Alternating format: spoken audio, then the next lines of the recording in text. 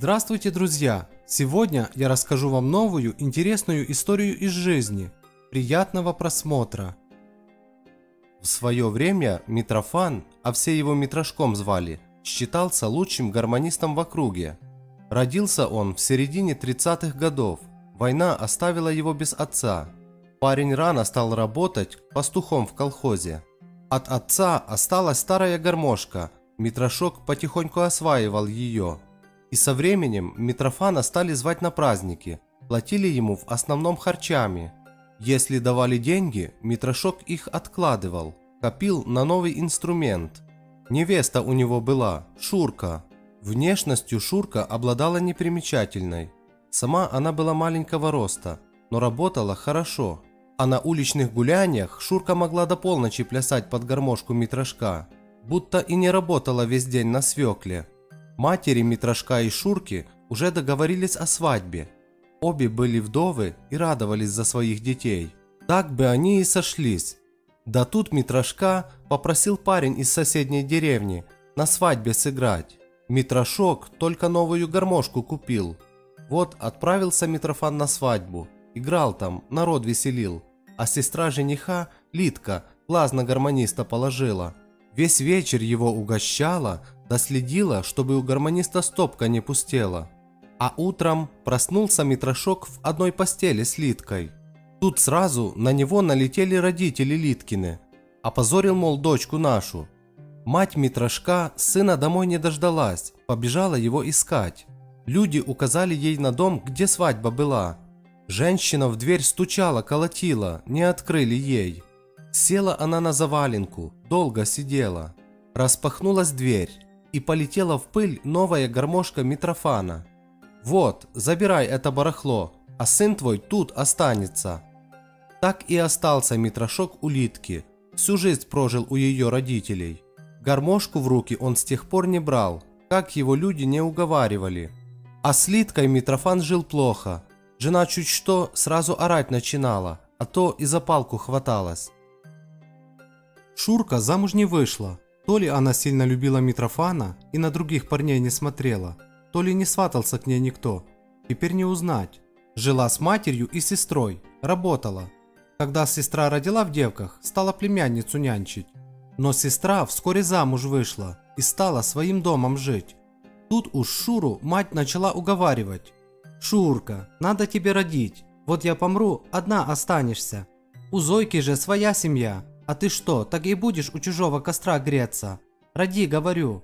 Шурка только смеялась в ответ. Мать слегла. Шура ухаживала за ней, а вскоре осиротела.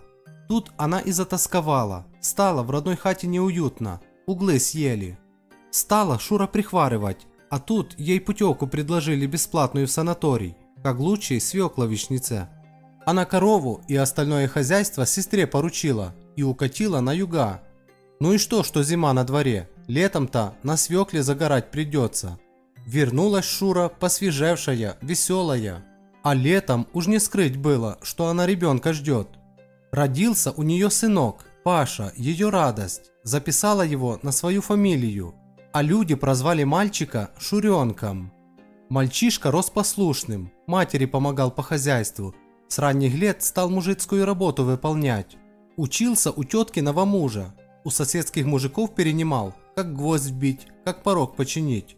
Так случилось, что пришлось учиться ему с Галинкой, дочкой Митрофана. Их даже дразнили женихом и невестой. После этого мать запретила Пашке даже смотреть на эту Галинку. А чего это ему на эту малявку смотреть? Так и закончилась их дружба.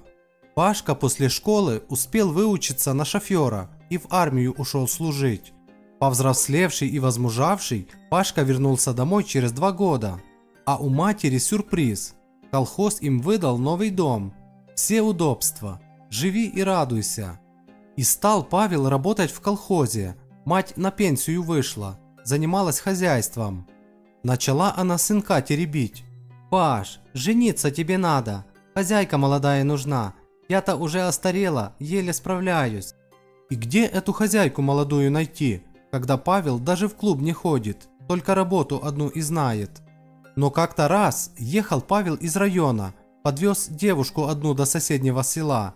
Кого-то сильно она ему напомнила. А в субботу мать ахнула. Сынок-то нарядился и в клуб пошел. Кино показывали. А клуб этот находился в том селе, где Паша в школе учился. Там парень и узнал, что его попутчица – это та самая чернявая Галинка. Выросла девица, учится в городе, а ухажеров за ней целый хвост.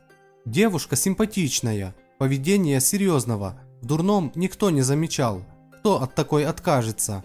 И стал Павел за Галинкой ухаживать, а она уже знала, какая история произошла с их родителями. Понимала, что мать войну поднимет, если узнает про Пашку, но любовь сильнее оказалась.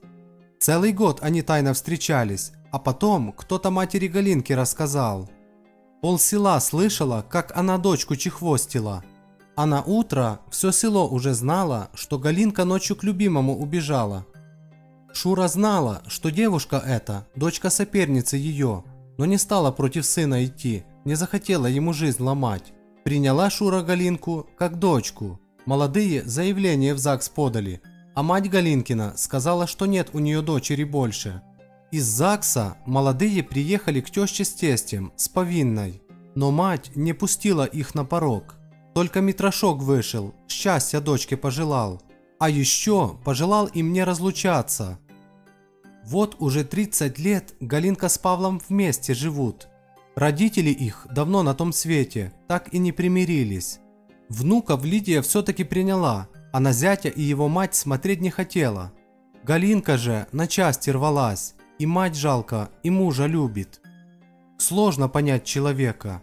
Лидия же у Шуры сама жениха увела. Лишила двух человек счастья, а сама злилась на них всю жизнь. Друзья, спасибо за просмотр этого видео. Если вам понравилось, подпишитесь на канал, поставьте лайк и оставляйте свое мнение в комментариях. До новых встреч!